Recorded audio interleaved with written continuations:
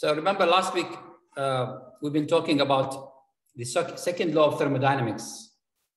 And we have uh, two major statements in this law, um, just to give you a, a reminder.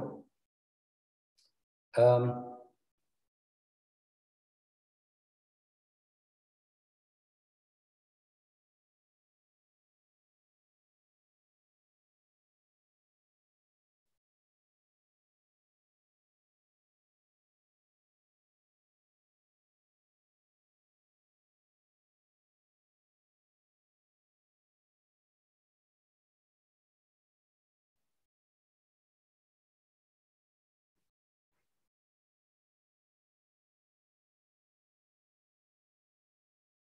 Okay, so remember last week, two major, two major statements in second law of thermodynamics.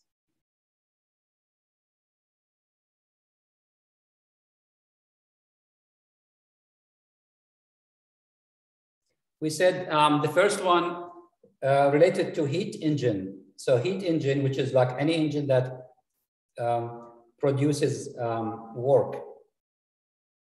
So for heat engine, we said um, in, in, order to, to have um, an actual heat engine that can produce uh, work, W, what we need actually, we need heat source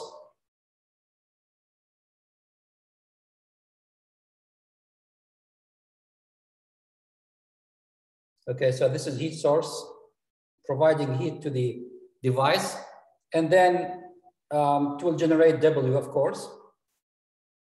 And then after generating the W, we need to reject what uh, the remaining heat to the um, to the heat sink. And the heat sink, we said any um, any space that has um, big size that doesn't affect with, with the change in temperature. So the heat sink, such as the environment, surrounding air, um, a lake, uh, an ocean, a river, all these are these are represent represent uh, heat sink. Okay, so this is um, the uh, first requirement for heat engine. So this is second law uh, based on second law, and we said that the efficiency we can say this is QH because this is the high, high uh, um, temperature heat, and this is, we call it QL, the low, low temperature uh, source, okay? So QH and QL. And to find the efficiency of this, we said we need to say the output, which is W divided by the input heat, which is here, in this case, QH. So this is one, one um, statement of second law of thermodynamics. The other one relates to the heat pump. Remember heat pump? We said heat pump when we want to um, move heat from one side to other side, such as the air conditioning system. So we have heat pump or um, refrigerator cycle.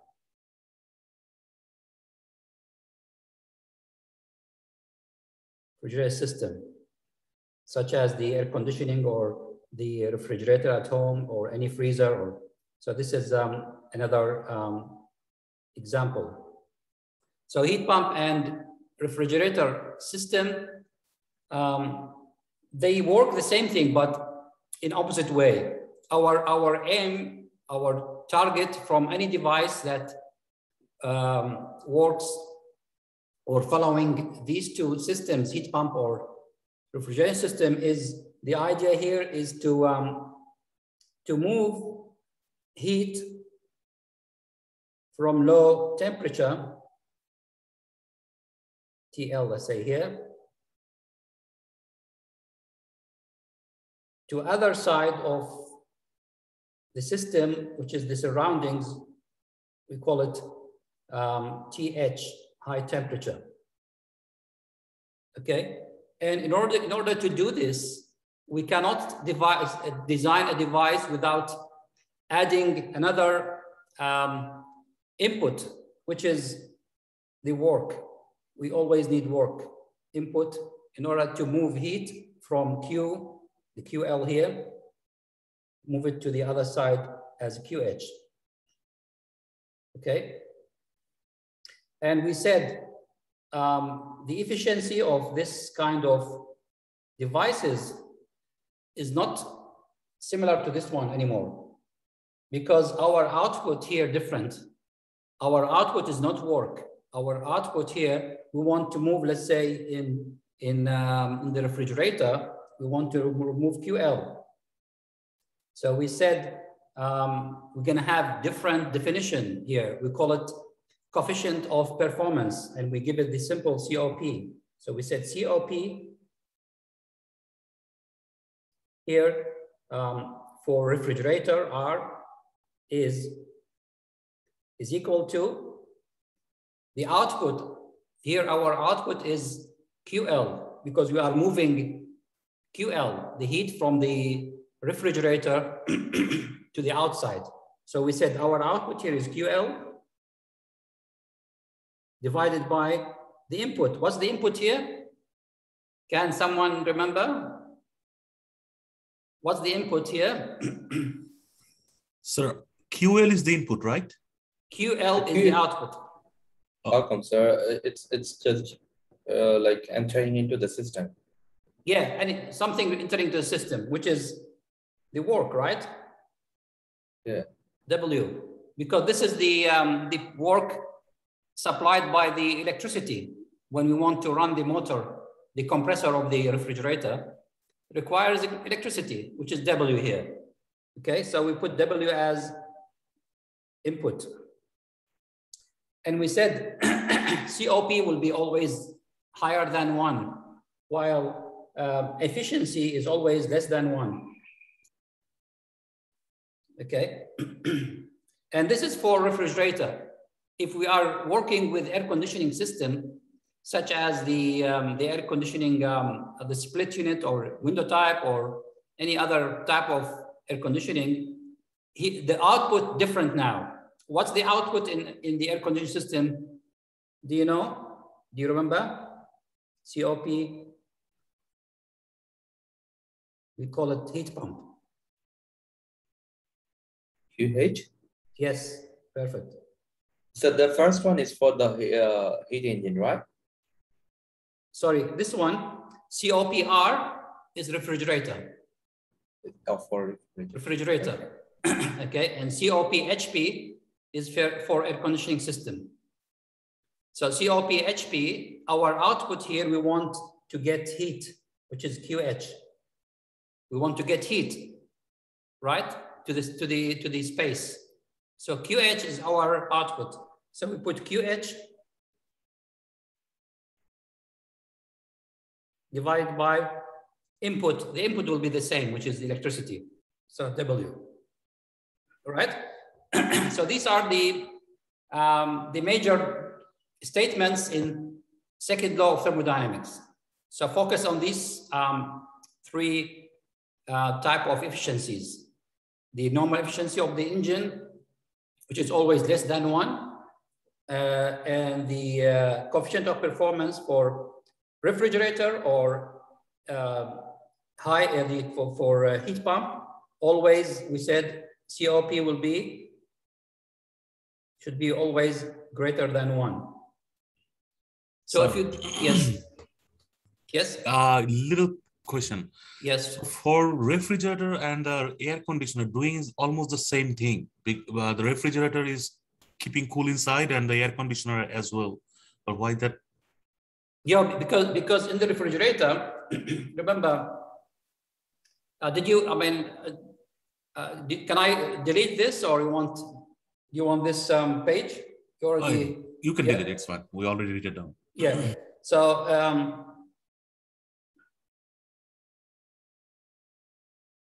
Now, in, in the, we said, remember refrigerator, this is the refrigerator. We are taking heat from here. We said there is a um, kind of um, loop here, um, a pipe going inside the refrigerator, and we are taking whatever heat we have here in the compartment or inside the refrigerator, we are take this heat to this um, uh, to this refrigerant loop, okay? And the loop, then what's happened here? We have refrigerant coming inside and then, then refrigerant leaving. And with, with this, the first one here, we are taking Q, but Q here is take, we are taking Q at low temperature, TL, because the, the refrigerator temperature is lower than the ambient temperature, TH, correct? Yes, sir. Faisal? Yes, sir. Okay. So we call Q at the lower temperature, we call it QL. So this is QL. While uh, the heat rejected to the room here is QH, correct? Yes, sir. Yeah, yeah. So in, in, in, the, in the refrigerator, our target is to get rid of this QL. While in the air conditioning system, our target to get this heat. So if, if I put this refrigerator, for example, the same, same system, I will put it in this way. This is the system I have, okay? And then this is the, this is QL. And this is QH. So if I put this QH inside the room, this is a room, then I'm getting heat inside the room, correct? In, in winter time, in winter time, I need heat. So I take QH, I put it as my, my target, my required output. Yeah, while, yeah. while um, in the refrigerator, it's the other way around. Okay, okay, no, Yeah. Okay. okay, thank you. Um, okay, so we go back to um,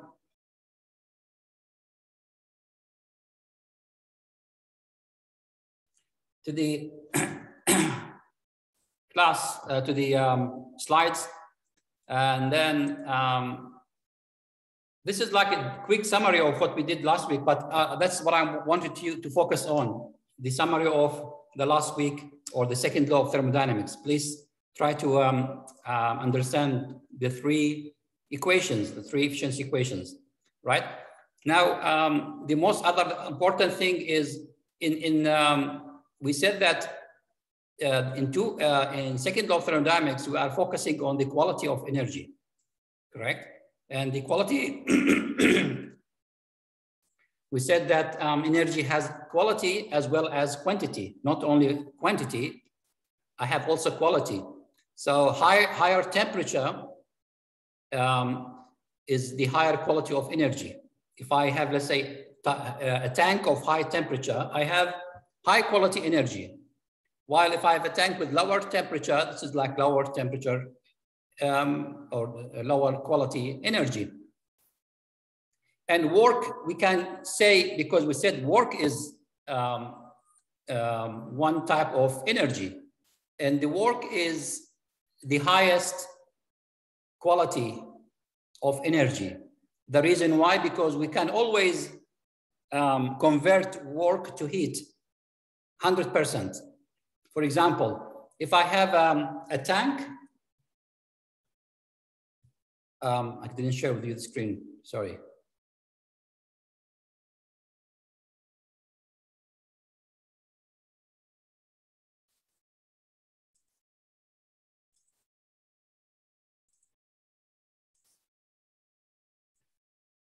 Right? So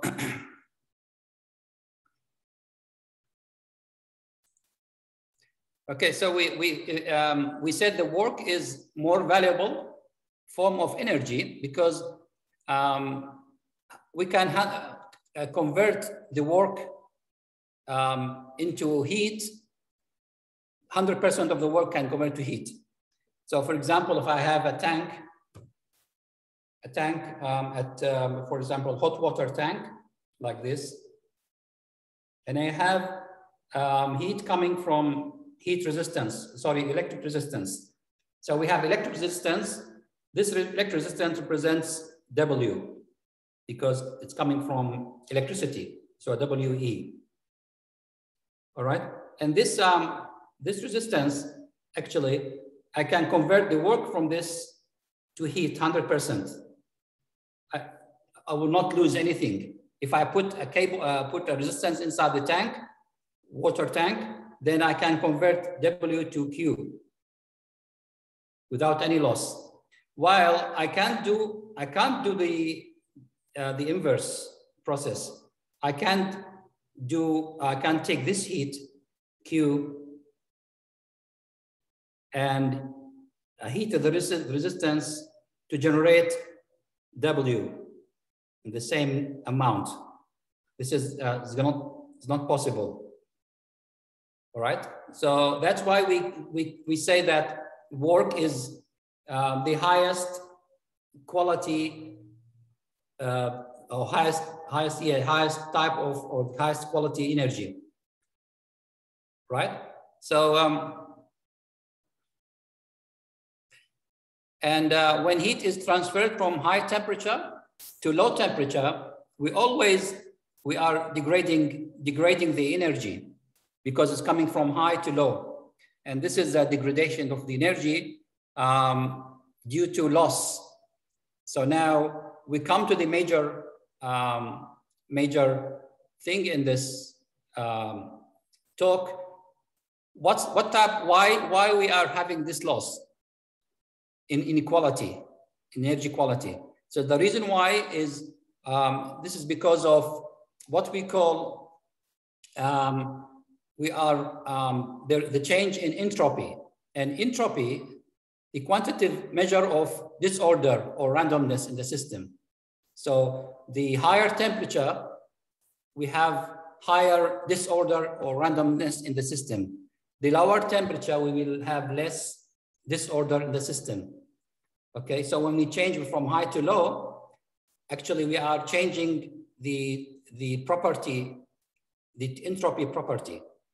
Okay, so I think you have noticed in the steam tables, there is the last column, the last three columns, we have what we call S, the simple S, or they put at the top of the column, they call it entropy, next to the uh, enthalpy. Uh, this is what, what we are talking about actually. So the entropy is another property that you need um, when you are doing analysis based on second law of thermodynamics. Okay, and as I said, uh, entropy also is a measure of energy uh, in the system that cannot be used to do work. So this is kind of the change in entropy represents um, the amount of energy we lost that we cannot do it or can, we cannot convert it to work. We said that work is the highest uh, level of uh, or the highest quality uh, of energy. Okay.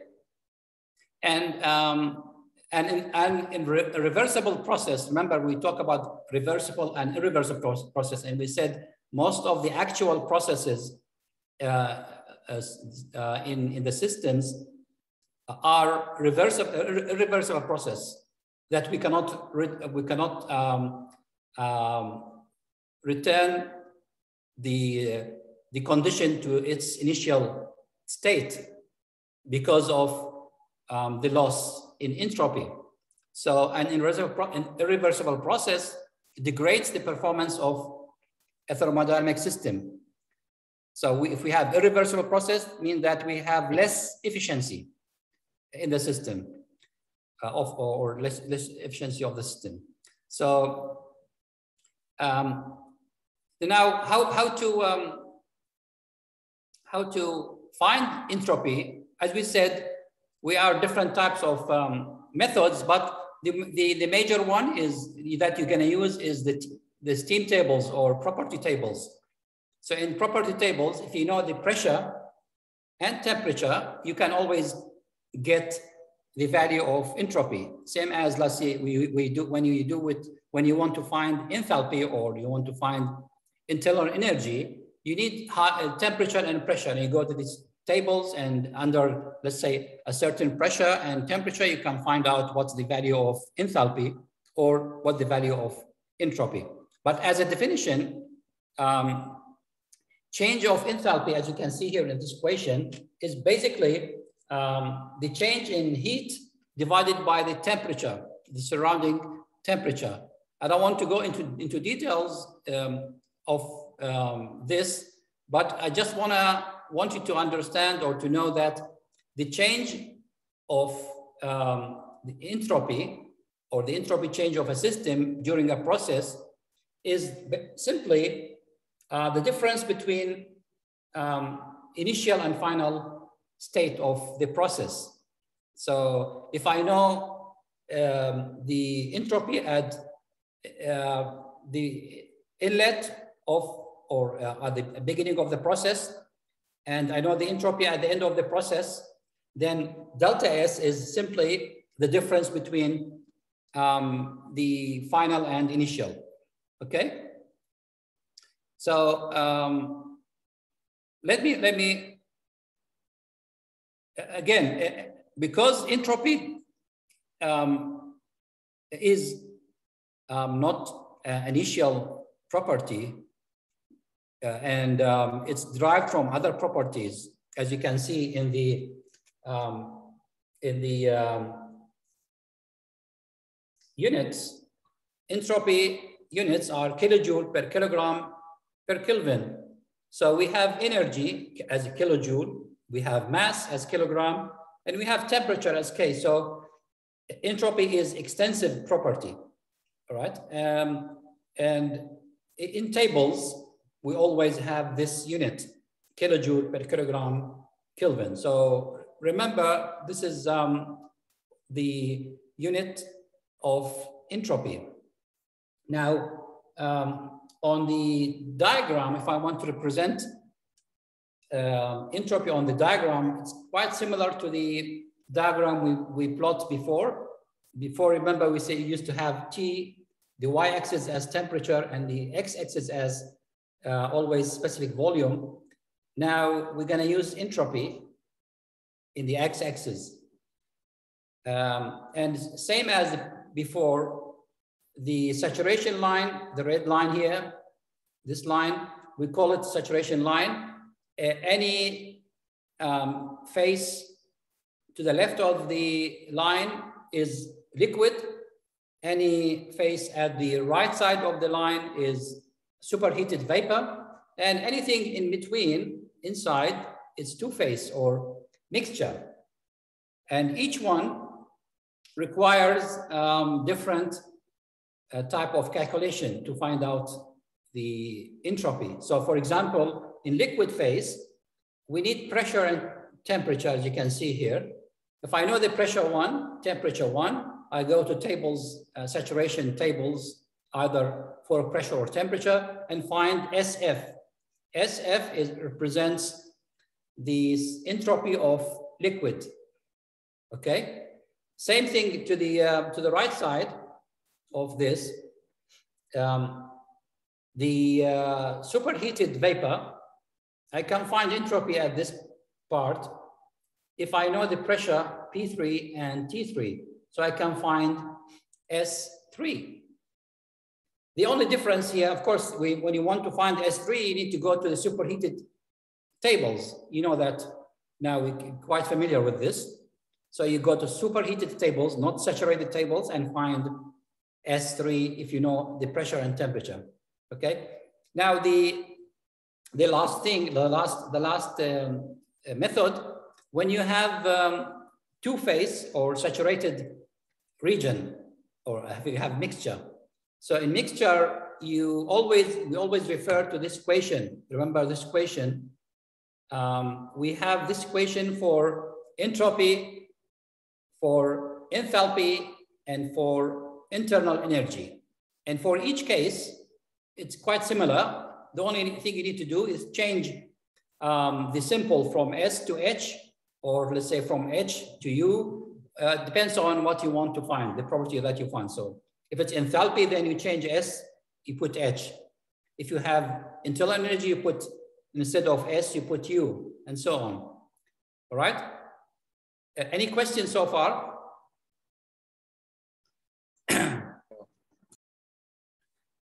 okay, so that's actually um, what I wanted to explain here about entropy and the, this property is quite important.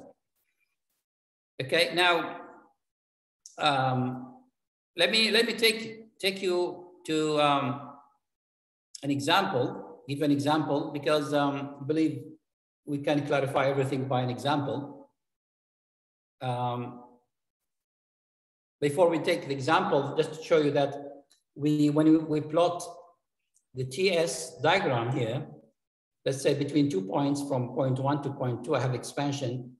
For example, this, this process, expansion process, then the area under the curve represents the heat, okay? So, um, because um, we said that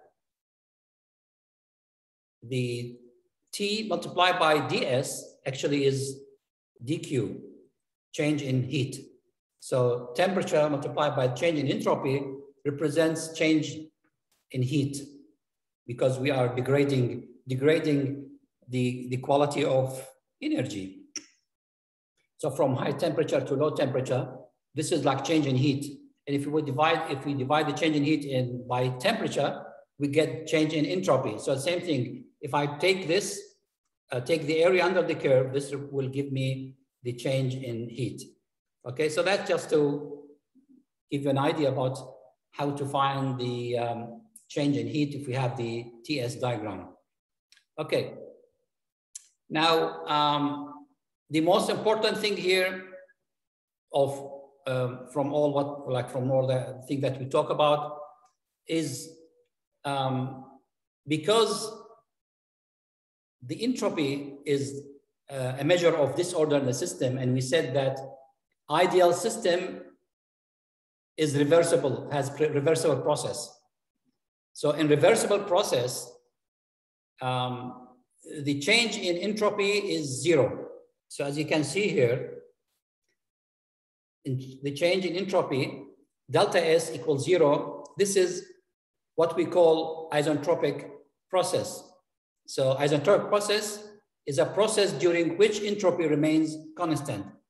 So um, if you like, if you have a look to this um, diagram, TS diagram, I have this turbine. This is turbine.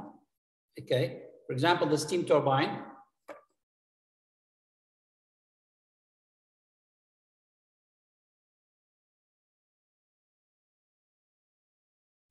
Okay. So this steam turbine um, has two type of expansion. If we take the ideal expansion, I'm, I'm um, from point one to point two, the exit. So from inlet to exit, as you can see in the diagram. So from inlet to exit, the first, the first um, process when we have delta S zero, as you can see, if I extend this down to this, delta S doesn't change between one and two. So I, can, I, I call this process isentropic process. And the second option is between one and two, as you can see on the drawing here, two is has different S from one. So this is S1, this is S2. When we have difference in entropy, it means that we have irreversible process. And um, there is a, a definition here, which is used widely um, in, um, in different devices, actually. It's, it's a measure of the quality of the device. They call it isentropic efficiency.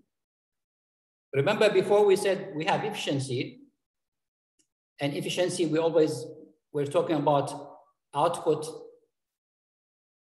divided by input, correct?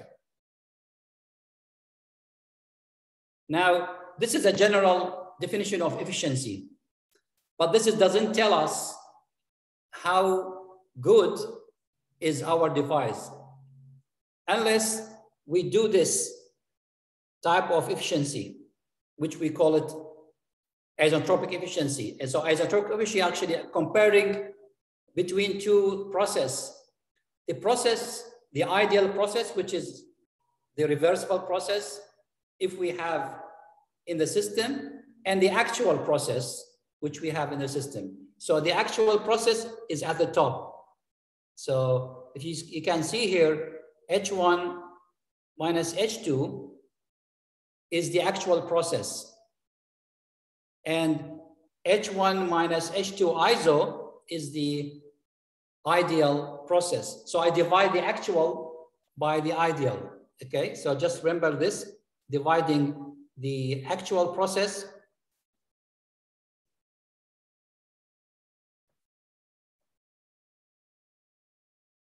dividing by the divided by the ideal process. Okay, so if I can do this, I will find an efficiency. And this efficiency actually uh, showing us how, how good is our system is. Okay, is it clear? Any question? Right. Is the H enthalpy? Sorry? What is the H? Yeah, H is enthalpy, yes, correct. Okay. So enthalpy at the initial or at the, at the inlet minus enthalpy at the exit, two, divided by the enthalpy at the inlet, same, but minus now enthalpy at exit of isentropic process or as um, at reversible process. Okay, so I'll put it this way again, so make it clear. If I have two two pressure lines like this. So pressure one, pressure two, and I have an expansion from one point one, two expansions, one of them going straight like this. And because it's straight, S1 here will equal to S2 iso.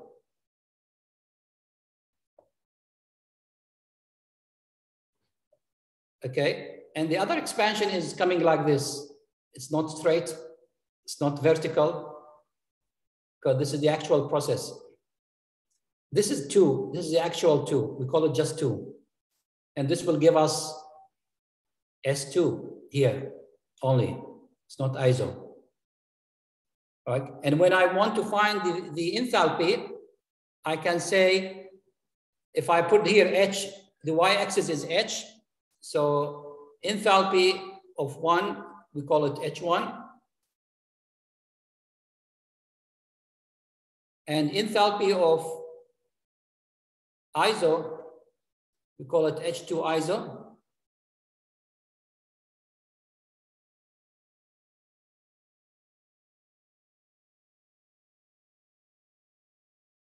And the end, the other enthalpy here, we call it the actual enthalpy exit at exit. We call it H2.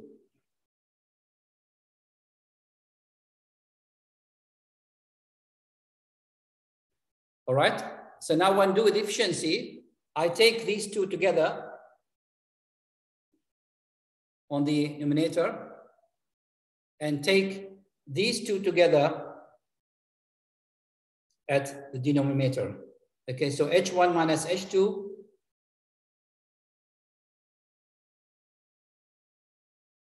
is the first one, H1 minus H2, divided on the bigger, bigger difference, H1 minus H iso, H2 iso.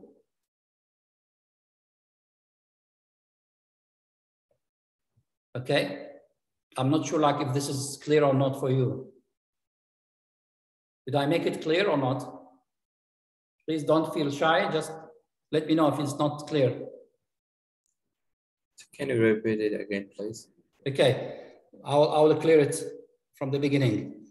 Okay, so I have two pressure lines. I have TS diagram. Let me do uh, take um, um,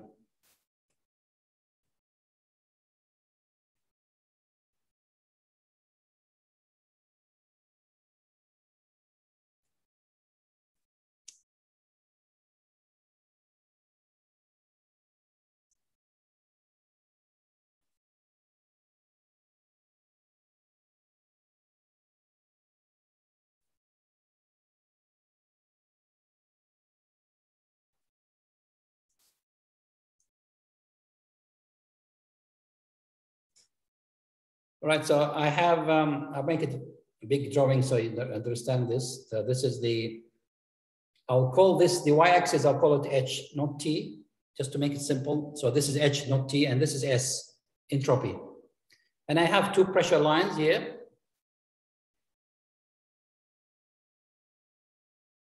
So this is um, P1, and this is P2.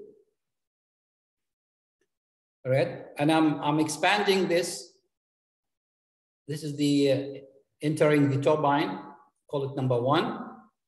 The process, the ideal process is the isentropic process or um, rever reversible process.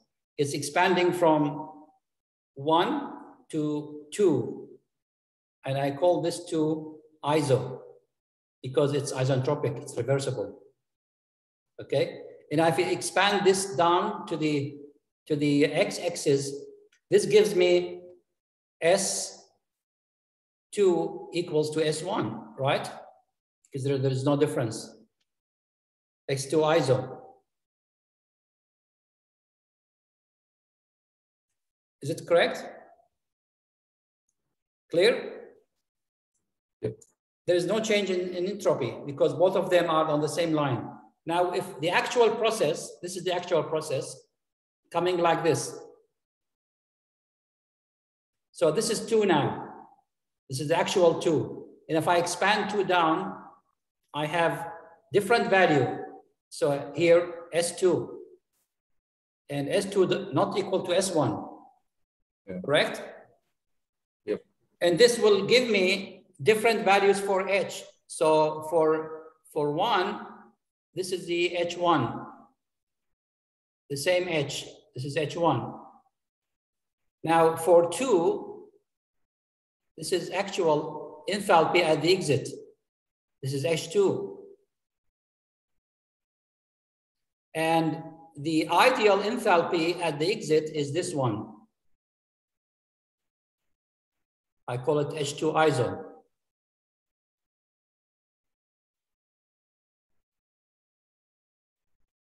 Yeah. Now, if I take the difference between these two first, divided by these two second, I will get the isentropic efficiency.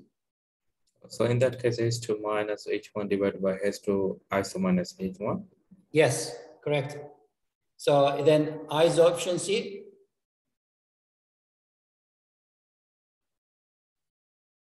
Can you tell me again, please, so we will work together?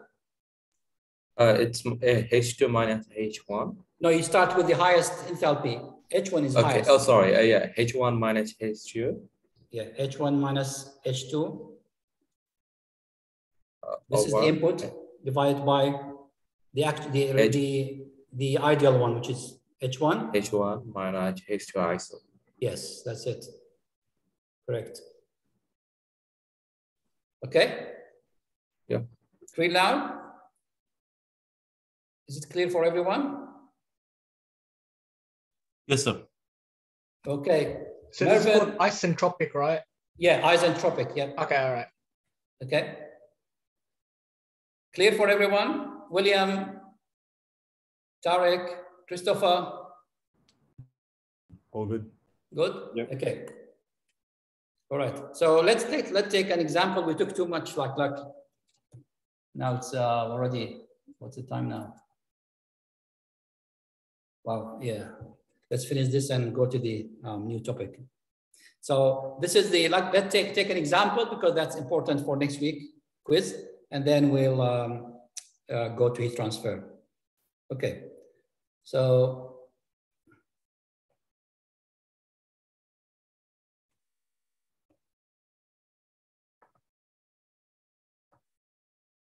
All right, so let's go back to, to the slides. So, so we are done with the thermodynamics, right? Yes, we're still thermodynamics. Yeah. Um, we'll go back to um, to share screen. Sorry, share screen view. Yeah. Okay, so let's let's take an example. It's really quite simple example, but reflecting the idea of um, um, the isentropic efficiency. So this is the example that we have. Uh, it's also in the book and you can find it also in the in views, solved examples in solved, solved example section in views. As I said before, um, I put for you all the examples of the book for each chapter. So you can go there and um, revise or, uh, or um, solve this example by yourself. It's already solved, but you, you can practice this. So now this is the steam turbine again, and um, steam enters an adiabatic turbine. This is like, you know, new term probably for you, adiabatic. When, we, when you hear adiabatic, it means that isolated. Let's put it in simple form, simple definition. Adiabatic means isolated. And if it's isolated, that means that there is no Q in and Q out, right? So when you have, whenever you have adiabatic, it means that there is no exchange of heat between um, in or out. There is no Q. Okay, so this is um, not available because it's adiabatic. adiabatic. And um, you're already given the pressure and temperature at the inlet, and you're also given the pressure at the exit. Um, determine the work output of the turbine uh, per unit mass of steam. If the process is reversible, can you, can you like notice this? When we say the process is reversible, if you look at the TS diagram, what do you see? Is the, um, the blue line vertical or inclined? Vertical. Vertical. Vertical. And if it's vertical, definitely there is no delta S. The S, I mean, uh, initial S and final S are the same because it's vertical falling on the x-axis at the same value. So point one and point two, state two, have, both of them have the same S. So this will help us to find out the property of the exit. Because as you can see at the exit only we have pressure, we don't have anything else. While at the input we have pressure and temperature. So we can easily go to the um, steam tables and find enthalpy from there. By, while at the exit, we have only pressure. We need another property to enter the tables. So the table, the, the property here that we're gonna get is entropy. If you know the entropy S1 here from tables, then this will be equal to S2. And then if I have S2, I can, with the pressure here, I can go to, to tables and also find enthalpy two. Okay, so this is the um, the benefit of having or, or of benefit of having a reversible process in the examples that it's easily we can find the exit if we know the inlet.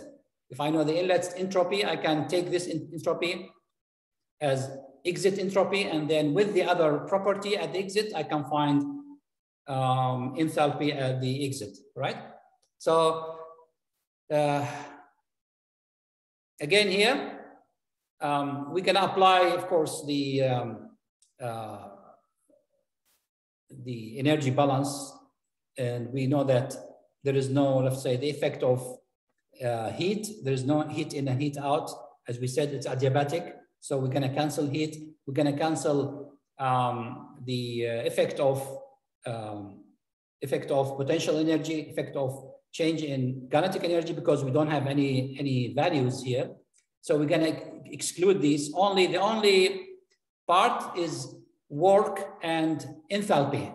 So as you can see here, the only um, the only term that we're going to keep in our energy equation is the work and enthalpy. So work actually is equal to the mass flow rate multiplied by change in enthalpy, H1 minus H2. Now our um, job here is to find out the value of enthalpy at the inlet and enthalpy at the exit. And we said that enthalpy at the inlet is quite simple. We can easily find it from tables because we have pressure and temperature. And we know that this is um, steam uh, or superheated steam Therefore, it's easily you can go to the superheated tables and find out H1. The next is, as you can see here, we can find H1 and also we can find the entropy, right? So please, when you go home, try to find the same values from tables just to practice yourself uh, how to find the entropy, just to prepare yourself for next week, okay? Um, so this is the one, first one. The second one, we said uh, uh, state two, which is that exit, we have only pressure, but because it's, uh, we know that the process is reversible, mean, means that um, there is no change in entropy. Therefore, we can say S2 is equal to S1, as we mentioned before. And if I take S1 with the, with the uh, sorry, S1 with the pressure together, I can find the enthalpy from tables. Again, I need you to go to tables because it's quite important. Uh, uh, when you go to the tables, um, you have pressure, but you need to um, train yourself how to find the enthalpy from entropy.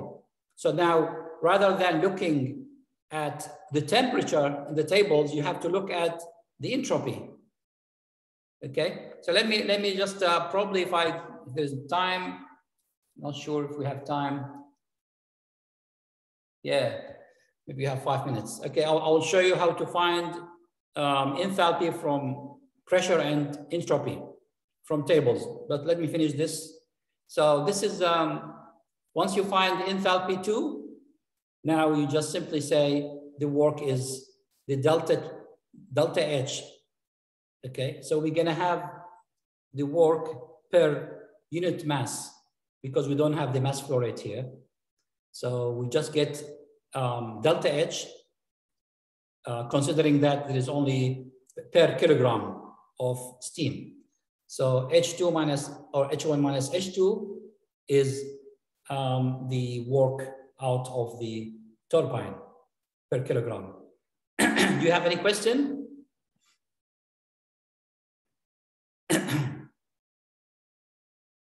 so we call this um, actually two here, in this case, is two iso,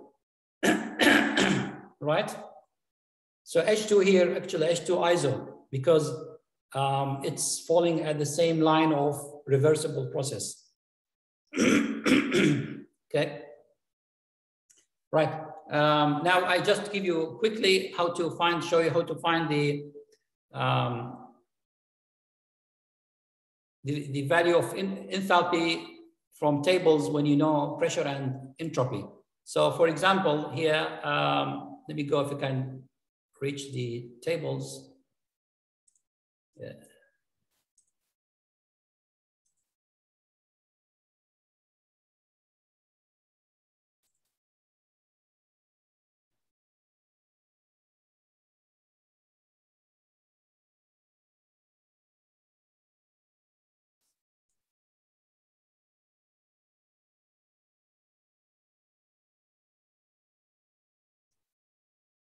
Yeah, as you can see here, this is um, superheated steam, superheated water, okay? And in, in this table here, I have pressure for these um, small tables. So now in our case, for example, what was the pressure, do you remember? 1.4 or something. Yeah, good memory. Uh, yes, this is uh, five, no, five megapascal. Five and Yeah, uh, yeah, sorry, yeah, correct, you are correct. 1.4 at the exit. So uh, 1.4 at the exit megapascal. So let, let's go back to the table.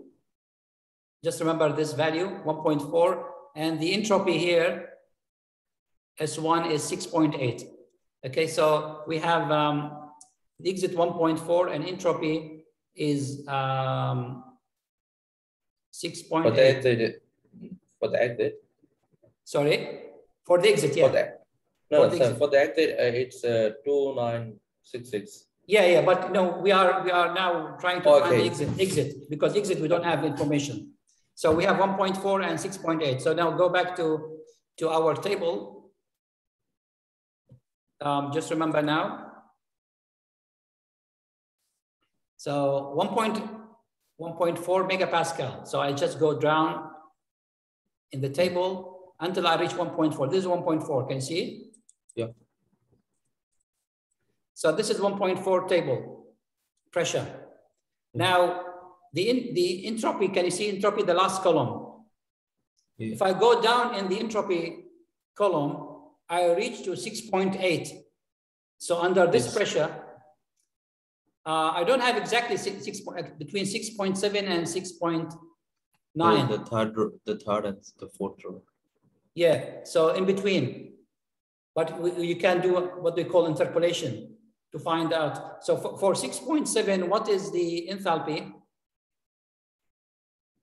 Uh, the six point seven four, uh, Yeah. two nine two seven. Yeah, and for 6.9 is 30. Yeah. 3,000, sorry. 3040. So we have enthalpy in between. So if you, if you uh, find uh, for 6.8, because we said for this, if I want to find the um, enthalpy between these two, uh, I have 6.8 entropy. So if I have 6.8, I can find what's the enthalpy in between. In, in the exam, I will not um, most likely I will not give you this kind of process because interpolation requires some time. But just to let you know that if you have exact number, for example, if you have 6.7 entropy, it's straightforward. 6.7, then it means H is 2,927, okay? Or if it's, if it's, um, if it's um, 6.9, if the uh, entropy is 6.9, then enthalpy is 3040. Okay? Clear, Ev- everyone? So now if you know entropy and you know the pressure, you can easily go to the tables. You do the same thing here. You choose the, the pressure first, and then uh, under the entropy column, you follow the column and see where is your entropy value. This is my entropy value. Then for this entropy, what is the H? I find this is the H. This is my H. Okay? Okay? Clear? All right then. Good. Thank you. Let's go then to our second part of the lecture.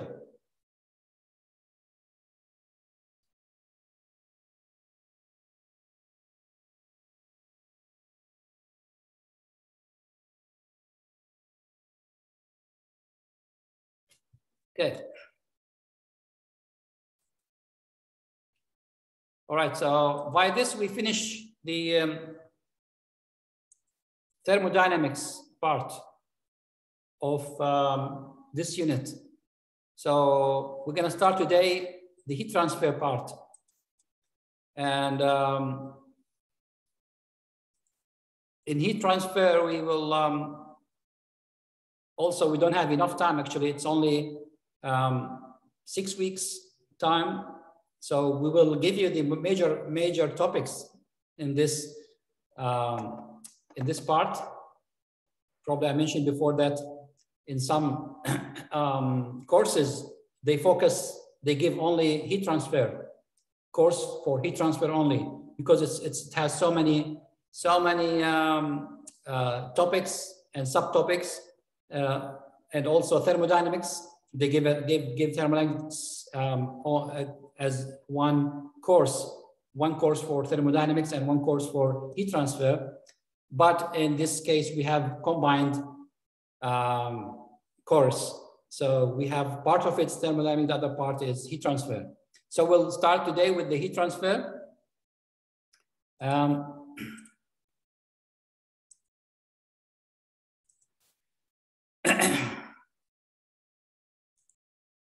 just to um, uh, give you an idea about the, the coming topics, you will find probably you have so many formulas and so many um, equations. But um, don't get scared um, because as I said before, first of all, in, in the exam, you will have the formula sheet and uh, or you will have open book exam. And in the open book, you'll be able to um, get your formula or equation from the notes or from the book. Uh, but the most important thing, because it's limited time, it's only two hours exam, in the final exam. If you don't know how to use these equations, you will be in trouble because the time um, uh, frame is uh, an issue. And if you don't know which one is the right equation for your uh, example or for your, for your question, then you're gonna spend longer time searching which one is applicable uh, for my case. So please try to understand these questions. Don't, don't memorize them, but understand them and make sure that you know where to apply each uh, principle or each um, formula.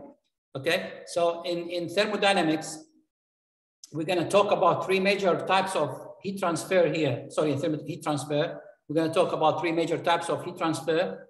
Um, heat transfer by conduction, heat transfer by convection, and heat transfer by radiation. We'll talk about each one of these individually in the coming lectures, uh, but today we'll give you summary um, or kind of introduction um, to these three types of heat transfer. So heat transfer, we mentioned before, uh, the form of energy that can be transferred from one system to another as a result of uh, temperature difference. If you don't have temperature difference, there will be no heat transfer. So I think you know this from previous um, uh, from previous lectures, or we talked about this at the beginning of our um, session. So the basic, basic requirement for heat transfer, as we said, is the presence of temperature difference. Application of uh, heat transfer is in every, maybe every single um, device in our life. We have heat transfer in different forms, of course, but if you uh, look deeply in any device, you will find there is heat transfer. Just give an example. The laptop or the PC that you are working on now. Can you some, come, someone tell me um, where we can find heat transfer in your laptop or your device? I know it's electronic device, but there is part of it relates to heat transfer. Exhaust fan? Yeah, perfect. Cooling fan. Correct. Cooling fan, cooling fan in the laptop. I think you can hear it sometimes when it operates. This fan is always cooling, cooling the PC, okay? Um, and um, cooling the circuit, inter, uh, internal circuit, or the cooling the board or the IC of the board. So if you don't have this cooling fan, there will be damage in, the board and you will not be able to run, run the um, computer. So this is like just an example uh, where about heat transfer. So we'll show you like some of the um, application, industrial ap application, but uh, just to let you know that um, the, um, the unit of uh, heat transfer uh, depends on um, what we are measuring. So uh, if you are measuring energy per, per unit of time, then it will be kilojoule per second. Okay, so this is um, one, one, one part of, or one type of units that we, we may use, kilojoule per second. Um, but engineering, uh, engineering heat transfer relates to um, a rating problem and sizing problem. So if you want to say the rate of heat can be transferred or the size of the system, we need heat transfer to, to solve or to find out, um, for example, the size of the system, such, such as, let's say, um, the size of the fan in the computer or the size of the cooling system in, the, in your um, uh, house. Okay, so now heat transfer, as we said, is, is kind of energy uh, and uh, it can the, the energy can be transferred um, by two forms, either by heat, which we give it a symbol Q, or energy can be transferred by W. So from the system as work or as power.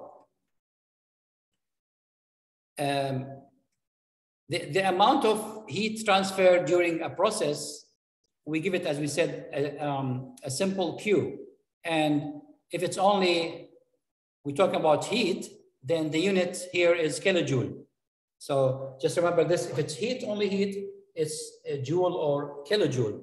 But um, if we have heat per unit of time, then we have kilojoule per second. And we give it a simple Q dot, as you can see here, Q dot is kilojoule per second or, or watt. So it's joule per second or kilojoule per second, or we call it, call it kilowatt. This is kilowatt. Yeah. So any any any type of this, any any we call it uh, amount of heat transfer per unit time. Okay. And um, the rate of heat transfer per, per unit area. Now we have heat heat transfer per unit of time. We call it heat rate, kilojoule per second. And if the heat transfer per unit area, we call it heat flux. And heat flux given the, um, the unit watt per square meter. So, so these are different definition of heat transfer in terms of time or in terms of uh, area. Um, we did have different, different units for each one of these.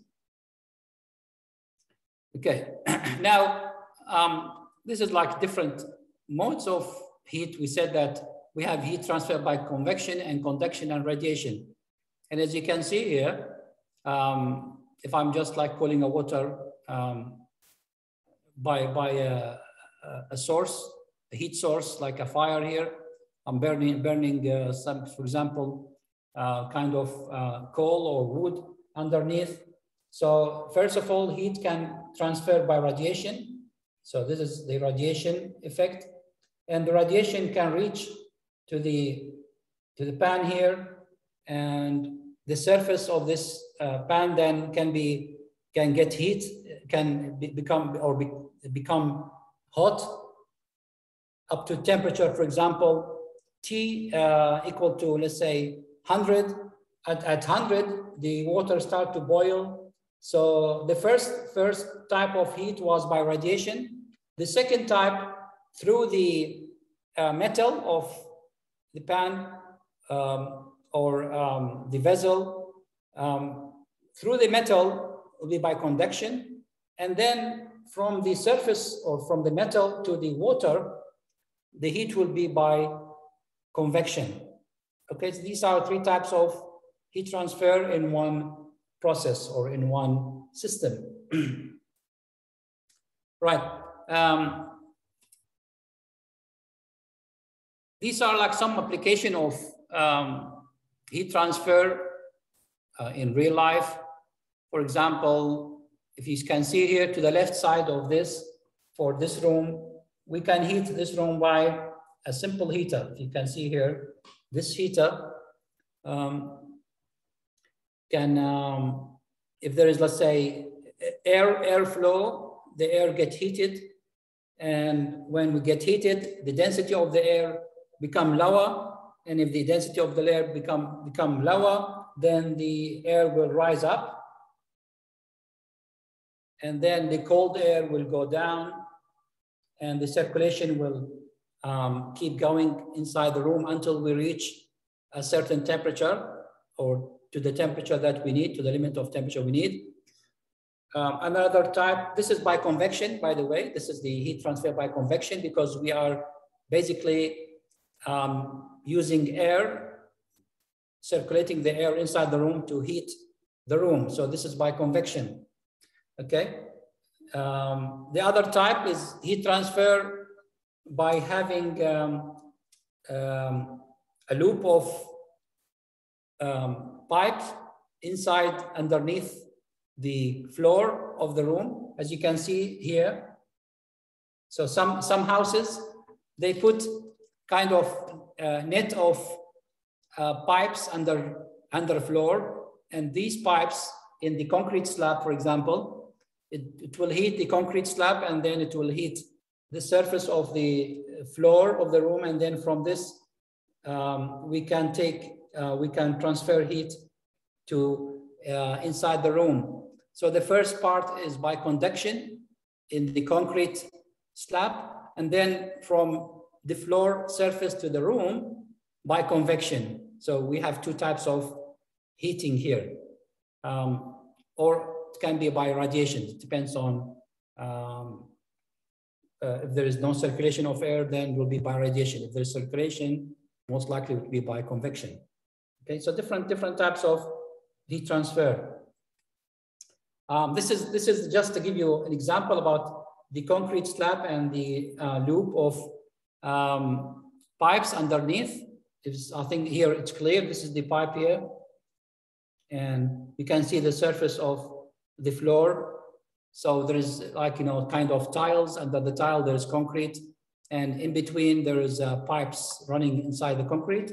These pipes has hot water, for example, and the hot water will um, heat the the concrete or the floor of the room, and then um, uh, from the floor to the room space get heated by convection or by radiation.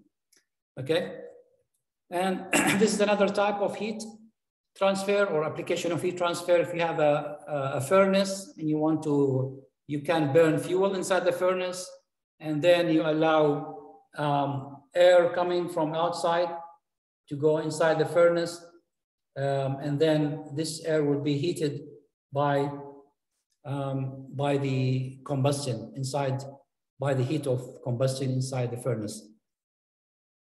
Right. Another type here, you can heat the house by solar radiation. So you get heat from the sun, you heat these panels at the roof, and then um, there are water running inside these panels and you can take the water inside the room. You can heat um, the same thing by same technology, underground heating. So you can put um, loop of pipes underneath and you can heat the water coming from hot water coming from the panels, from the solar panels. You can heat the floor or you can heat the space inside the house. Okay and so on. So this is like, um, just give you a brief, brief example where we can apply heat transfer.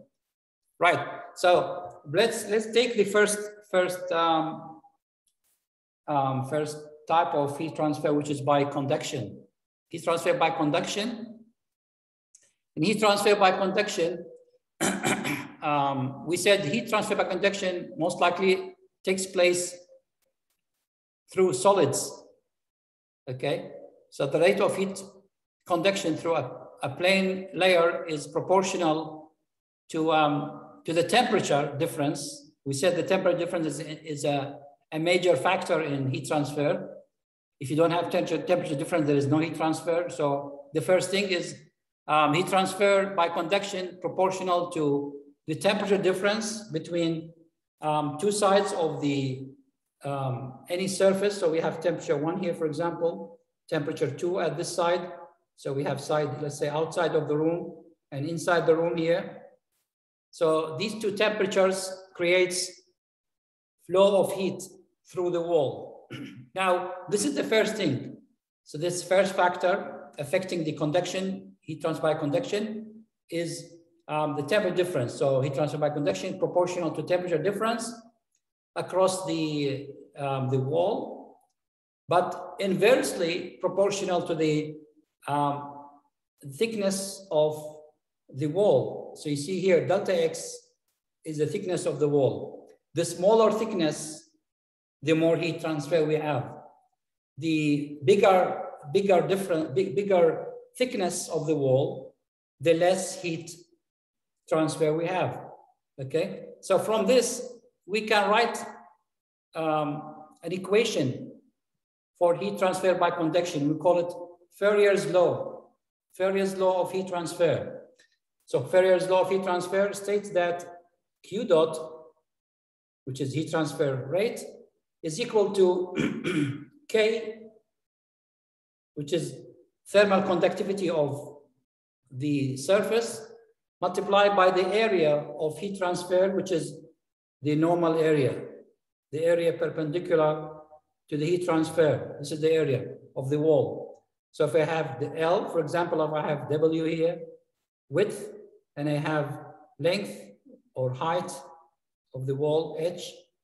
So H multiplied by W, the width, I can get the area. It's um area of um, rectangle or square, whatever. okay, so the heat transfer Q dot is equal to K multiplied by A, the area, multiplied by difference in temperature between in and out, divided by the thickness of the wall, delta X. All right? Clear for everyone? Yep. Any question? So. Okay. now, we call, as we said, K is maybe a new, new uh, term that you're gonna deal with now, which is we call thermal conductivity. And thermal conductivity actually depends on the type of the material that we're using. So for example, thermal conductivity of brick, different from thermal conductivity of timber, different from thermal conductivity of foam or uh, plaster or uh, um, um, styrofoam, uh, different, each, each material has different K. So if you know what type of material we have, we can go to tables, find the value of K for this material, and then we enter K in the equation to find out the heat transfer rate, okay? And there are um, many application here. But in this table, can you see this table here to the right side? This table give you an example of um, thermal conductivities of different types of material. So for example, if you want, if you don't want heat transfer from the system, if I don't want heat transfer from the system, I want to isolate the system from the surrounding. Um, which, which material I should use, for example? Christopher? Uh, anything from the bottom of the table. Perfect, thank you. So anything from the bottom of the table, for example, foam here, rigid foam, or um, soft rubber, if I did last like need less heat transfer. This has low K. And is remember, if I put the equation here, Q dot, equation is say Ka. So K is um, multiplier in the equation, delta T divided by delta X.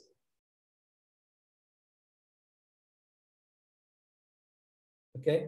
And um, because K is multiplied by the temperature, so the smaller K I have, the lower Q.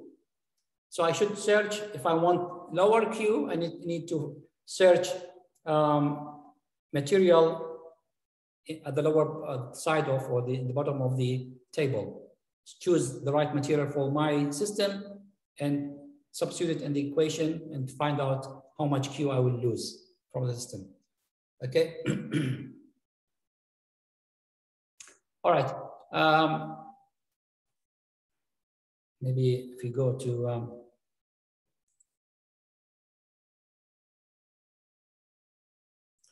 yeah, and this this like just this figure or this slide shows um, the um, the mechanism of thermal conduction. Uh, in, in de depends, of course, on, on the type or the phase of the substance. So in the gas, gas phase, um, we have randomness in, in molecular, uh, or we call it molecular collisions and molecular diffusion. Uh, and um, the uh, distribution of these molecules are not uniform in the system. In liquid, we have uh, more uniform distribution, as you can see in the second one. so, but, but in, in the solid, in the solid, you can see that distribution is quite uniform. And um, um, this, this, this distribution will affect heat transfer by conduction. So the, the conduction, heat transfer by conduction will be from one uh, molecule to other one.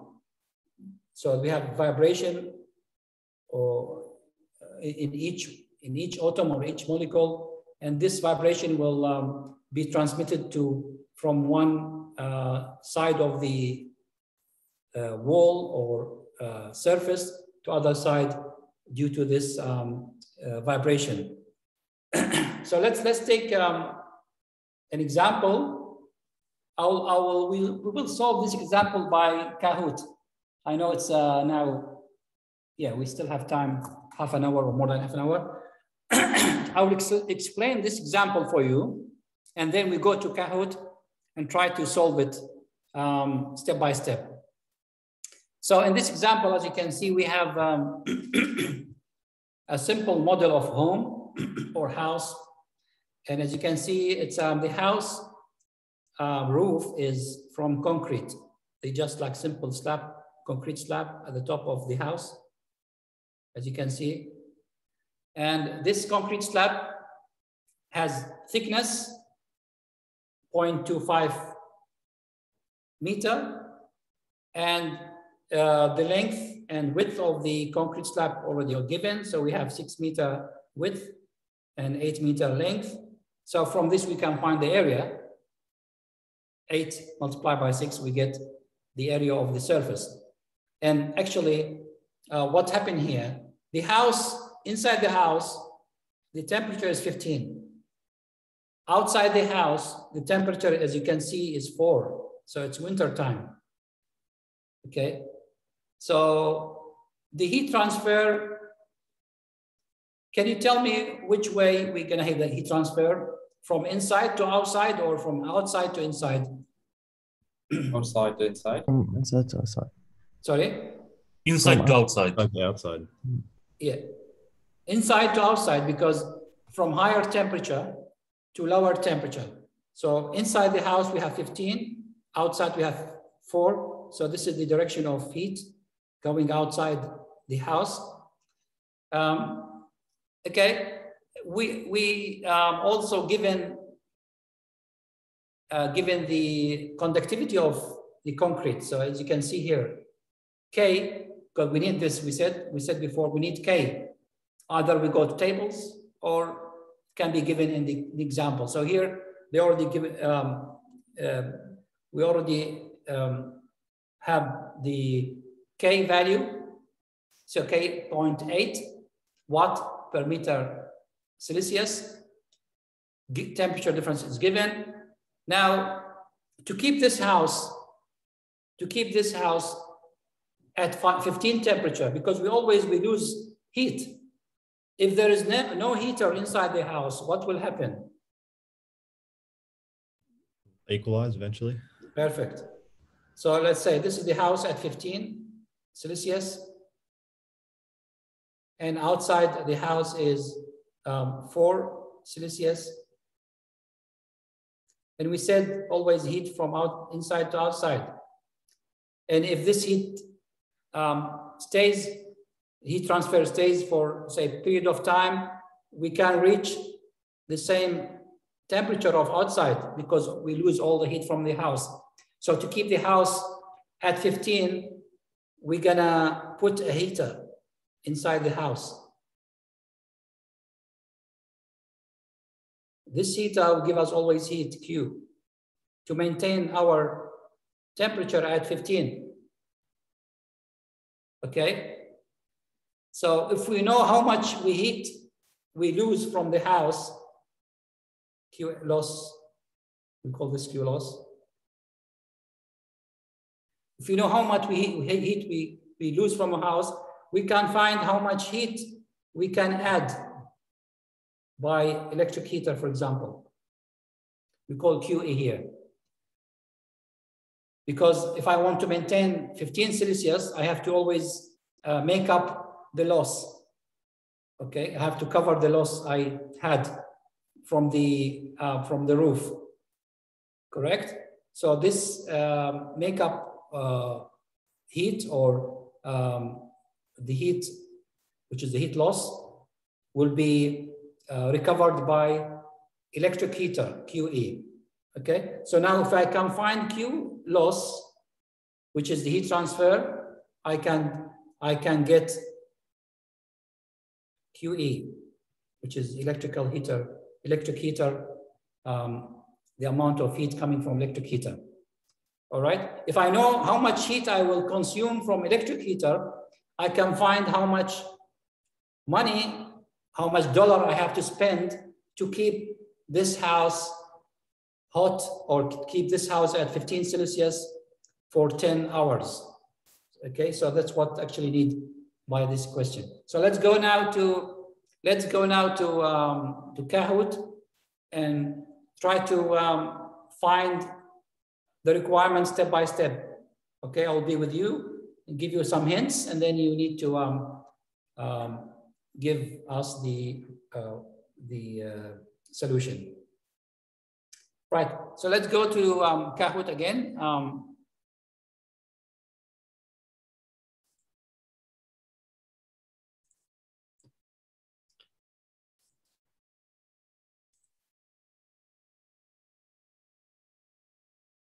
and I will take, as, as usual, we take attendance during this uh, process.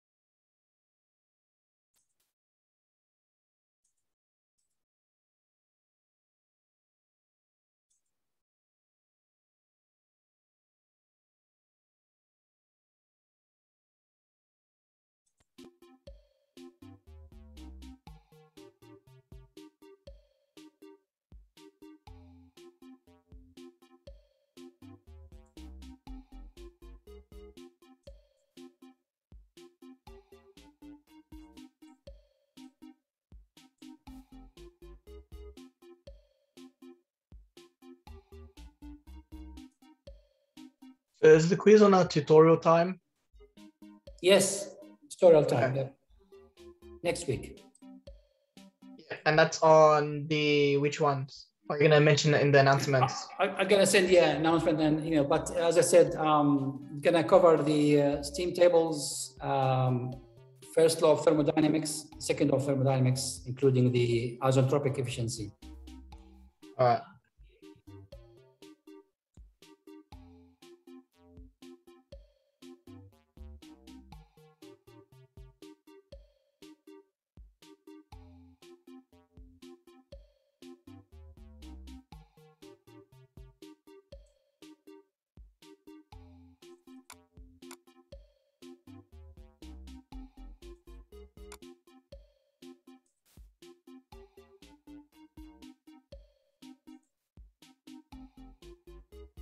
Everyone in?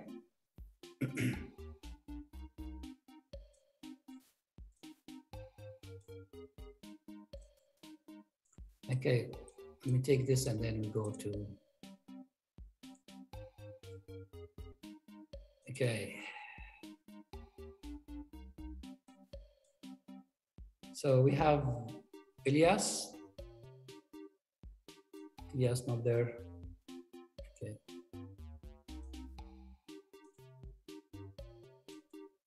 Idris, Muhammad? No?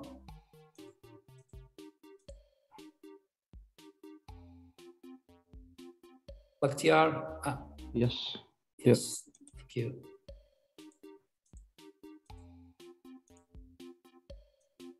Uh, so quickly, I was here last week. Sorry, is that? Uh, Bakhtiar Ali. Yeah, Bacteria. same as me. Uh, So me Uh, too.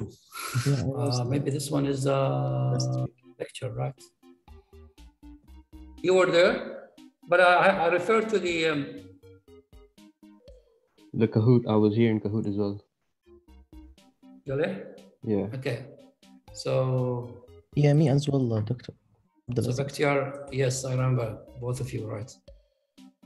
I don't know what's happened. Okay. I know what, because sometimes, um, yeah, Dr. Ahmed get confused with the tutorial. You click on tutorial, click on lecture rather than tutorial. Sometimes maybe they change this. Yeah, anyway, I'll, I'll do this now. So Bakhtiar is there. And Abdulaziz is there. Yes, sir, I was there. And uh, Yes, So so I was too, here sir. yesterday. I mean, not yesterday, last week. Faisal is there. Yes, sir. No, sir, uh, for last week, I was there. For the last week too, sir. Um, it's marked absent. Faisal is there. I will, anyway, I will go to back. Yeah, anyway, Yes, I sir. will- yeah, I will go back to uh, Kahoot register. Okay, and uh, vendor. Vendor, I don't know why he's there, but he's not there. He didn't never never come. Yeah, something wrong with the. Okay, I'll check anyway. Jingshu is there, right? Yes, sir. Um, yeah, Jingshu there. William's there, right? Uh, yeah. Um, Mervyn is there. Yes, sir, and last week as well. I was there last week. oh god, this is I think I'll, I'll check with Ahmed because probably he did this. Um, okay, uh, Imran, Yep. yes. Yeah. Imran, Yes, yeah. Asif. Asif not there.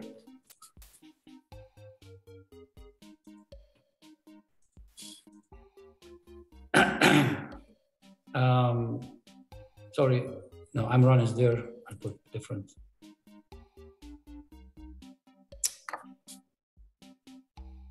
Tarek is there, right? Yeah, I'm here. Yeah, good, thank you. Asif, not there. Neo, Yes, I'm here, sir. thank you. And Christopher is there. And Peter. Peter? No? Okay, thank you. Sorry for this um, confusion. I'll check anyway with um, Ahmed. Right. Okay, so let's start then. Um, we know our question now. Question one.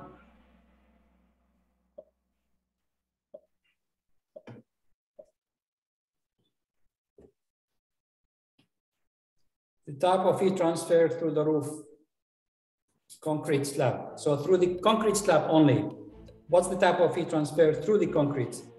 Is it convection, conduction, radiation, or convection and radiation? This is through the roof. Remember, I'm talking about this. This is the roof. This is the heat. Which type of this? Only in this section.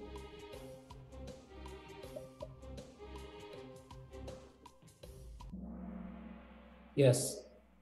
So we said that heat transfer by conduction always takes place in solids.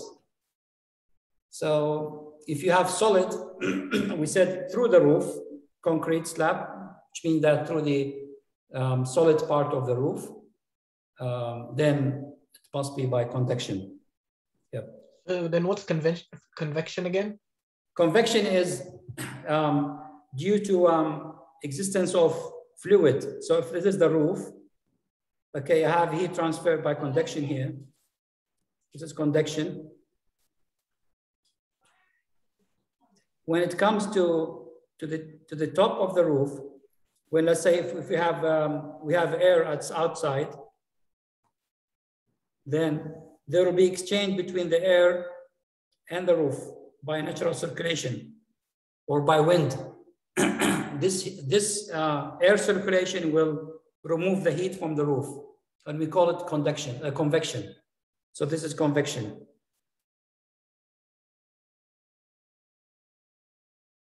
Okay, Yeah. clear? Yeah. Okay, that's the that's the difference. but just remember, conduction always takes place in solid objects. Okay, if you have solid object, then there'll be the only type of heat transfer is conduction.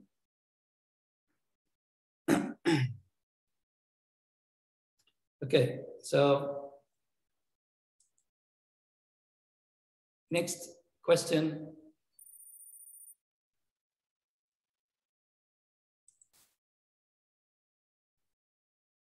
What's the heat transfer area of the roof? So I need the area of heat transfer, which is this one.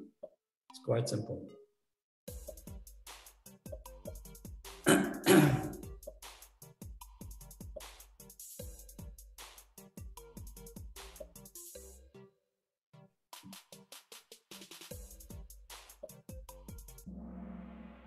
yeah. So the area of the roof, which is the the just simply the four, uh, sorry, six times eight. This is the area of the roof. because heat coming from this side. So the normal, the normal, normal area to heat transfer flow. Okay, this is the normal, normal area to the heat transfer. okay.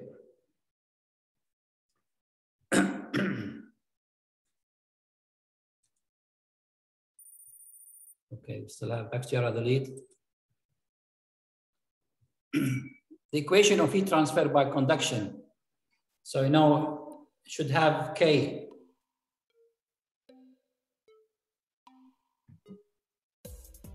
Which one of these? Be careful.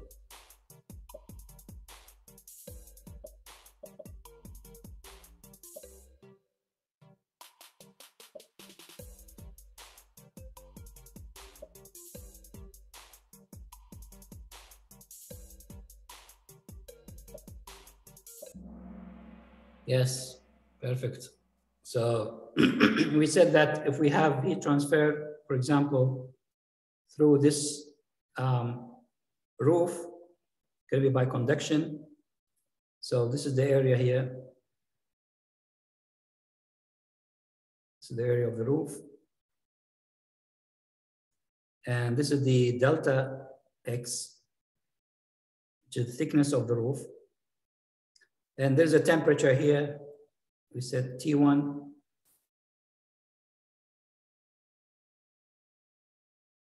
And there's other temperature at the top. We call it T2.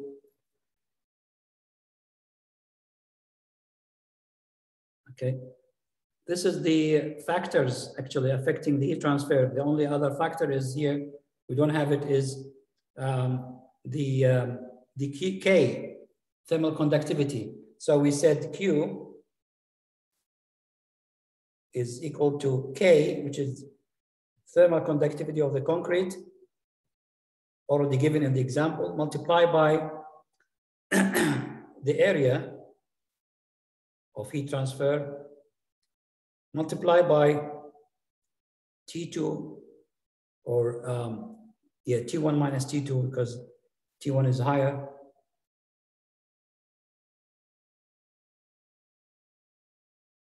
divided by uh, delta x, which is the um, thickness of the roof. So this is the equation actually, which is the first one. Yeah, thank you. How, sir, how do we understand the T1 and T2? T1 is T2. If look, if you say T2 minus T1, what do you get? You're gonna get minus sign, correct? Negative. Yes, sir. If it's negative, that's fine because we are losing heat. Remember before we said when we lose heat from the system, we always get negative sign. Yeah? Yep. So if you say final minus initial, you will get negative, which is also correct because this is the sign of heat loss from the system. Okay? So if you have positive, means that you are having heat to the system, not out of the system. Yeah? Clear? Yes, yes, sir. Yep. Yep. Okay. Let's let's uh, move on. Next. If uh, we already given the K, what's the rate of heat transfer from this figure? You know K. Apply the equation that we just mentioned now and find out what's the um, Q. Remember Q.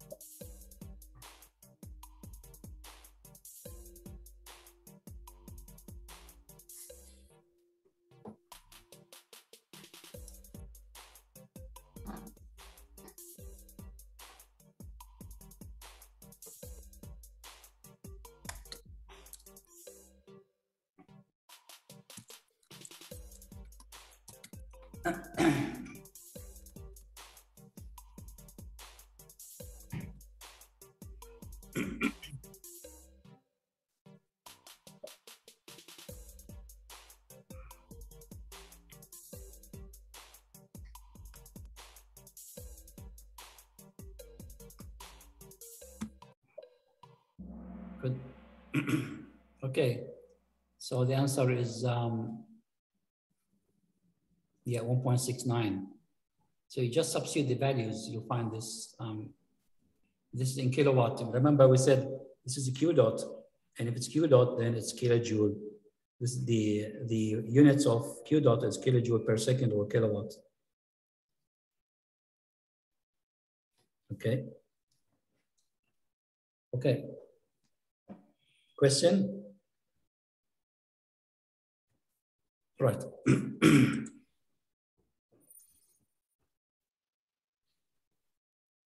okay. The amount of heat flux by conduction. So you need to divide Q dot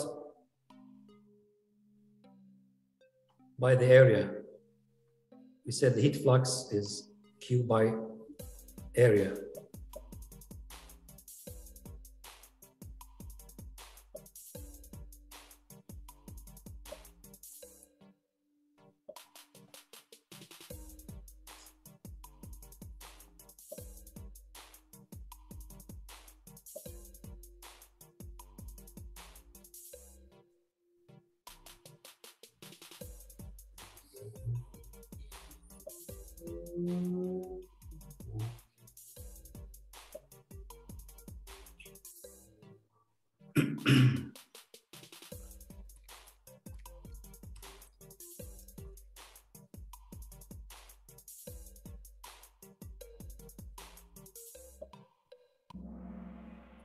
Okay, good. All right. Okay, thanks everyone for your contribution. Even if you did wrong, don't don't worry. I'm not here. I'm not testing you. I'm just trying to um, uh, we try to make you practice this um, the what we had. We need you to Uh, practice. you the- see for question four, what did KW stand for? Is that kilowatt or? KW, yeah, kilowatt. All right. Yeah. Okay, good. So the results here. Mervyn number three. To William.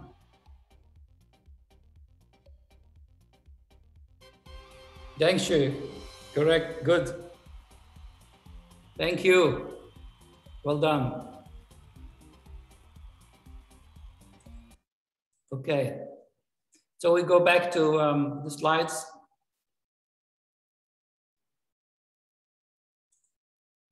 So this is the solution. You can find it there. uh, in the, in the slide, so please try to go through it. And um, the only thing that we didn't cover here in the Kahoot, uh, we didn't find out how much money we need to pay to keep this house at temperature 15.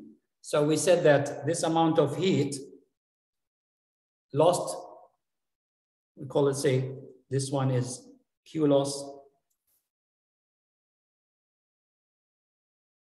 Q loss from the house. This must equal to Q by the electric heater. Because we need this amount of heat always coming from electric heater to uh, keep the house at 15 Celsius, right? So if I know how this amount of kilowatt uh, and I know how many hours I need to run it. So here said I need to run it for 10 hours. So I multiply 10 by uh, Q loss. This is the amount of heat I need from, uh, amount of energy I need from the heater during 10 hours, which is given here in kilowatt hour. So uh, kilowatt multiplied by hour be kilowatt hour. So 16.9 kilowatt hour. If I multiply it by the rate of electricity, the price of electricity, which is very cheap here, like we don't, we don't have this price anymore. But if this is the price of electricity, most likely we get it 15 cents or 20 cents, sometimes 30 cents. But this is like what given here in the example. So I multiply this rate by the kilowatt and I get how much dollar this will cost me, right? So it's very simple. Any question? How do you find this so far? Is it easier than thermodynamics or? Yeah. Easier, right? So far. So far, yeah, so far. At least Yeah. we don't have to use tables. Yeah, true, true. Yeah, but you, you're gonna use table, don't worry. You're gonna use table here. We have, we have special tables for heat transfer. So wait till we get these um, topics, get to these topics.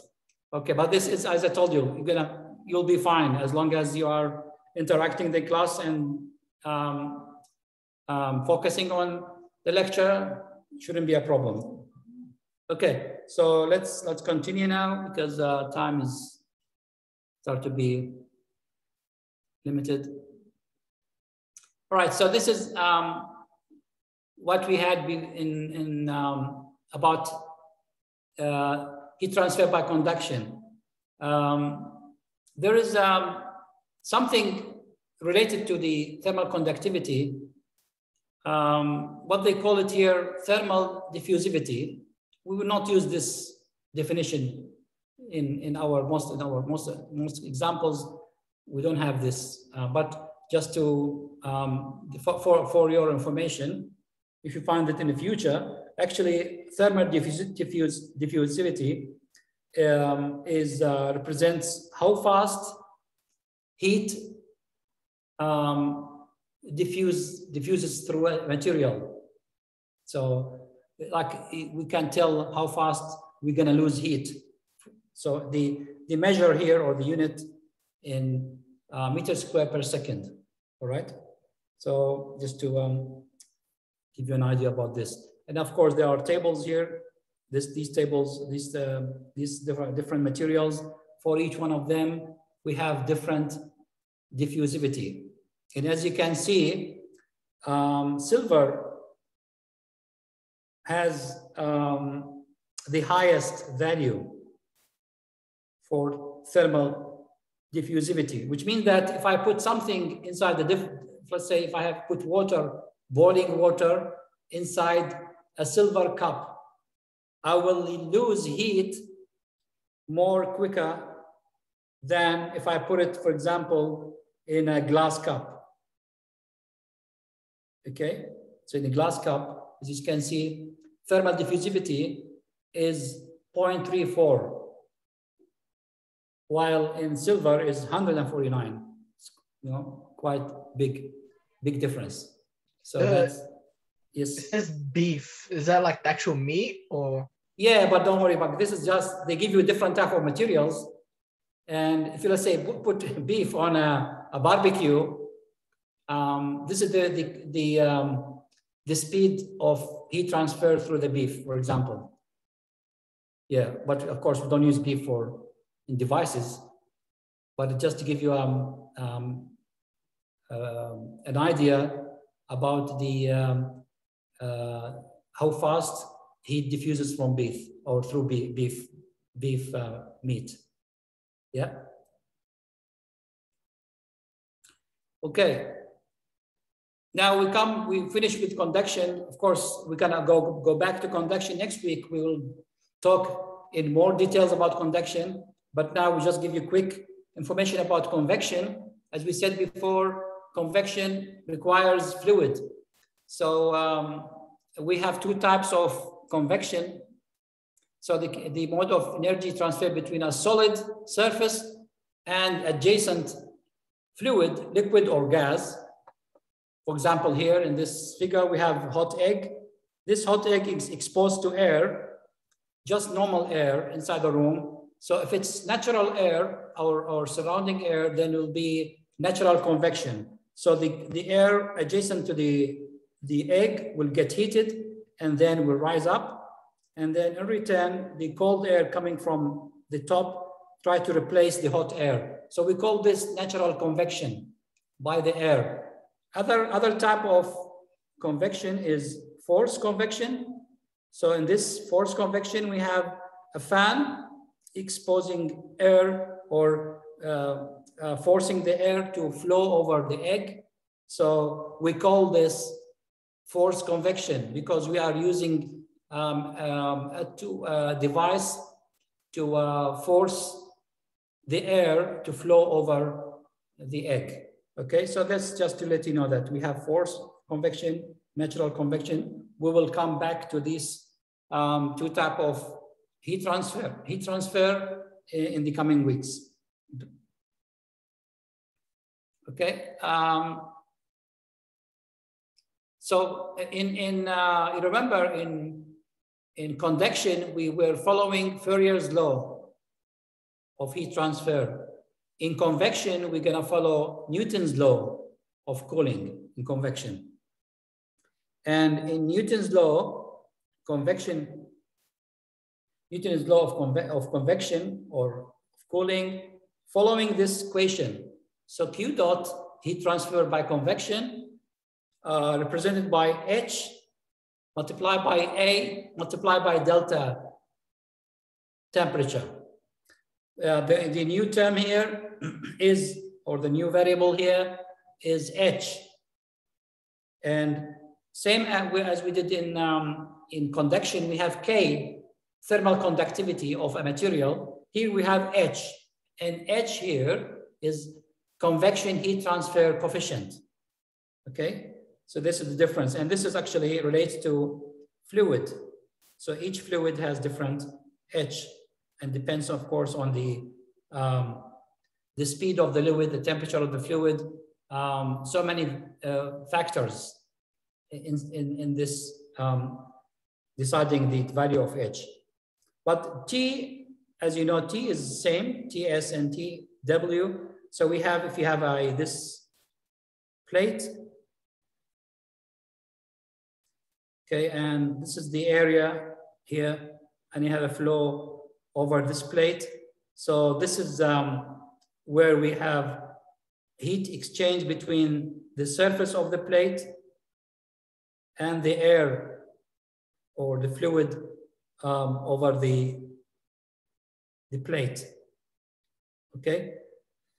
So the H value here, it's important and depends on um, the type of fluid we have. Okay. And again here, this table has shows um, the value of uh, heat transfer coefficient H for dip different types of um, uh, flow. And for example, here, free convection of gases, for example, uh, you can expect H between 2 and 25 um, for, let's say, forced liquid. Uh, you have this range of H and so on. So as you can see, it depends on the type of flow and type of fluid. So, so many, so many uh, factors here. Okay. So this is an example, just to, um, again, um, straightforward example. We have um, a flow um, of, um, we have an electric wire, sorry, electric wire. The length is two meter of this wire and the um, diameter of the wire is 0.3 centimeter. Um, inside a room, the room temperature is 15 Celsius, but the, the wire itself works as a resistance. And as you can see, the wire temperature is quite hot, it's 152. Okay. Um, we have um, we have given the amp, the current, and the voltage. And why we have given current voltage? Because we can find the amount of heat released from the wire uh, based on Ohm's um, law. Uh, we can say um, the the the power of W, let's say watt, is equal to VI, voltage multiplied by the current. So if I know the current, I know the voltage drop, I can find um, how much uh, energy released in terms of watt from this uh, wire. Okay, so uh, the requirement here is uh, discrediting any heat transfer by radiation. So we're gonna ignore here radiation. We're gonna only say there will be heat by convection from this wire to the room.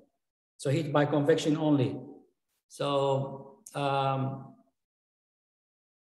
we need to find the convection heat transfer coefficient. We need to find H. Now H is missing. So what we're gonna do here, first of all, we're gonna find Q dot. And we said the Q dot, we can find it from V multiplied by A, by I, sorry, voltage multiplied by current. And then we say that same thing, Q dot, because this Q will be lost to the room by convection and heat transfer by convection following Newton's law. We said it is H, the transfer coefficient multiplied by A, multiplied by temperature difference between the room and the wire, which is um, 152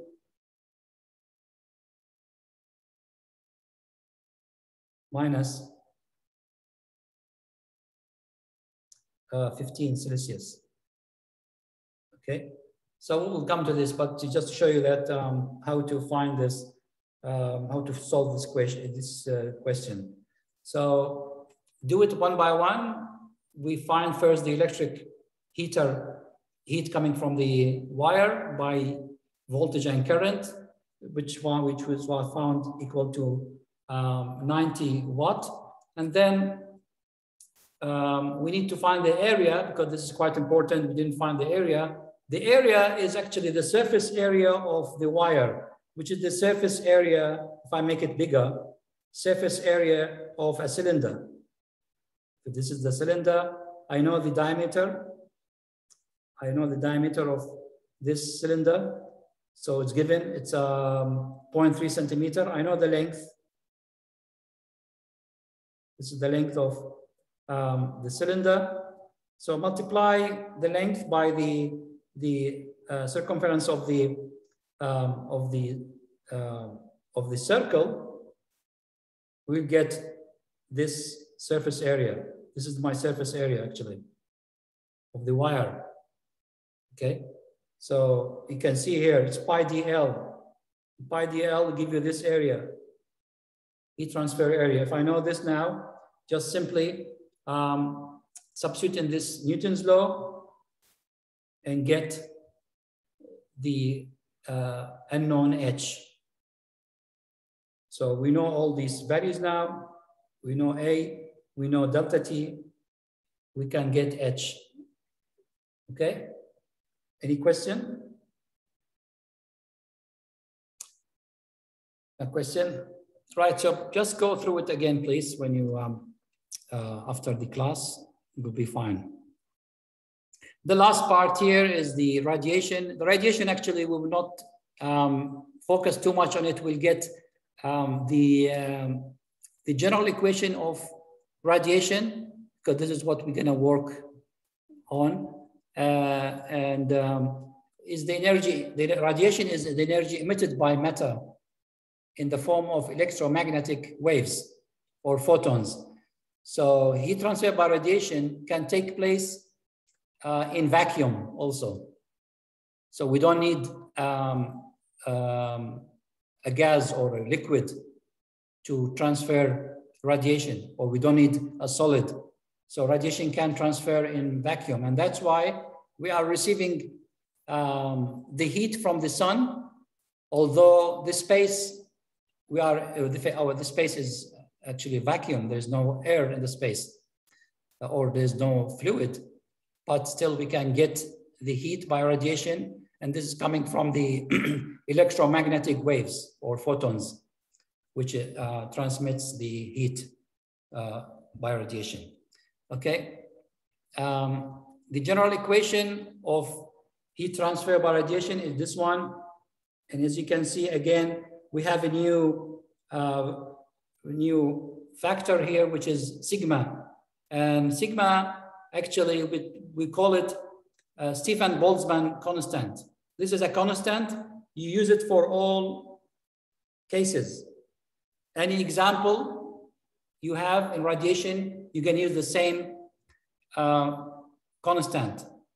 This constant, which is 5.67 multiplied by h to power minus 8. Okay, and as you can see, it's the unit is in watt per square meter per Kelvin to power 4. The reason why to power 4 because temperature here is, here is to power 4. And remember, the temperature always in Kelvin. Don't forget this. Don't use Celsius here. Always K. Okay. Otherwise, you will get wrong um, answer if you use Celsius.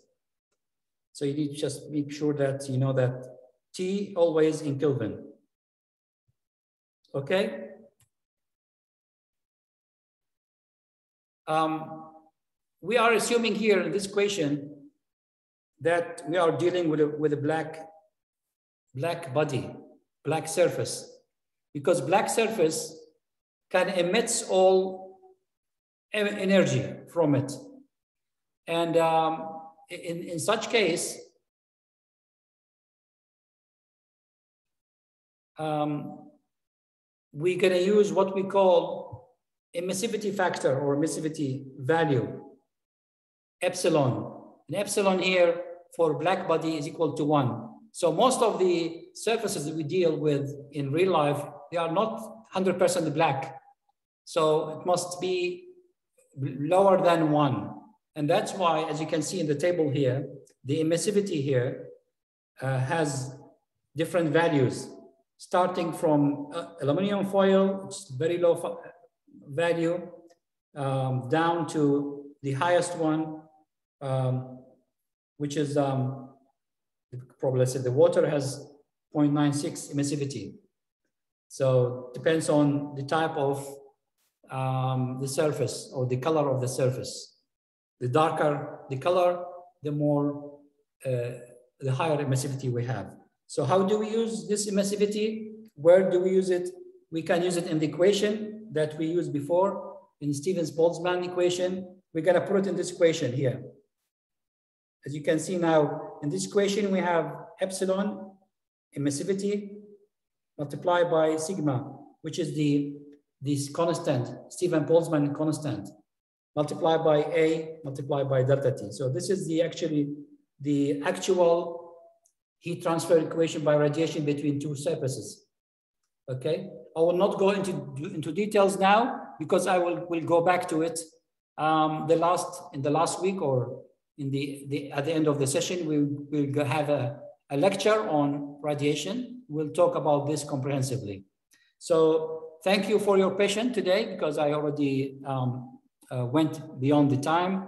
But um, yeah, we'll we'll continue next week um, our class and we'll talk more in details about heat transfer by conduction. Uh, any question before we leave? Thank you, sir. Right. Thank you, sir. Thanks, everyone. Thanks for your patience and contribution. We'll meet you next week and please um, uh, check your email because I'm going to send you some details about the quiz. Okay, have a nice week. See you.